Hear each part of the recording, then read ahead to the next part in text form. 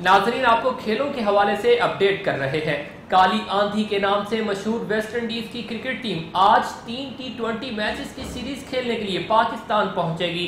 National stadium Karachi में कल नौ साल बाद इंटरनेशनल क्रिकेट का मेला सजेगा, जब पाकिस्तान और वेस्ट इंडीज की टीमें पहले टी ट्वेंटी मैच में मुकाबले के लिए मैदान में उतरेंगी। तफसीलात के मुताबिक वेस्ट इंडियन क्रिकेट टीम आज शब दो मुख्तलिफ़ परवाजों से कराची पहुंचेगी। वेस्ट इंडीज के खिलाड़ियों और ऑफिशियल्स का पहला ग्रुप रात साढ़े नौ बजे और दूसरा ग्रुप रात सवा बारह बजे दुबई से जिना इंटरनेशनल एयरपोर्ट पहुंचेगा।